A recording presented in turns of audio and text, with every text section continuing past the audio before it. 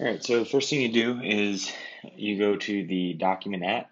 Well, actually, before that, create an invoice. Just go into invoicing, create an invoice, right? The customer, whatever payment terms, whatever, none of it matters.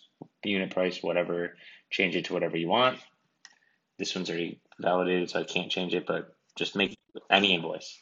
Then what you'll do is you'll print that invoice. So you have it here in a PDF like this on your um, on your machine, and then go to Document. Simply upload that invoice.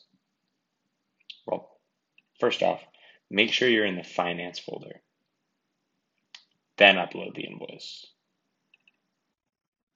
There it is. And then you click the invoice. Make sure the checkbox is clicked. Go over here, and you'll see Create Vendor Bill and just click that. And it creates the vendor bill, just like that.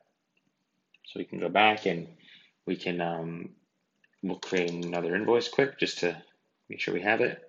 We'll say this is for Bob Jones. It might say Nicholas Kosinski again because um, of the company that it's being sent from, which is like, let me just see if I can uh, change that in a second.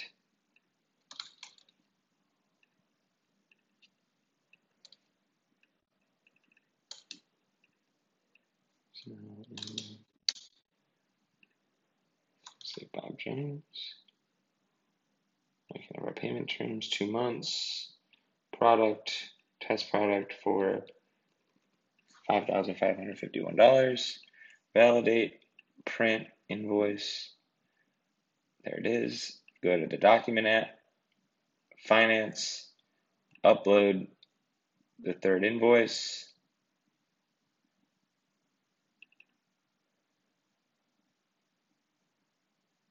There it is.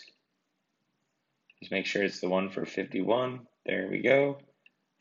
And all you do is you click create vendor bill down here. And there it is. Didn't capture the vendor. I'm not sure why. I need to look into that, but they'll still be impressed nonetheless, I think. So pretty simple. Creates the record, right? They can always go in and just manually add the vendor and validate the vendor bill and, you know, pay the vendor bill right within three seconds of receiving an invoice, and it's all paperless. So that's the pitch. Um, if you need more information on how that works or you're, you're unclear, just ping me.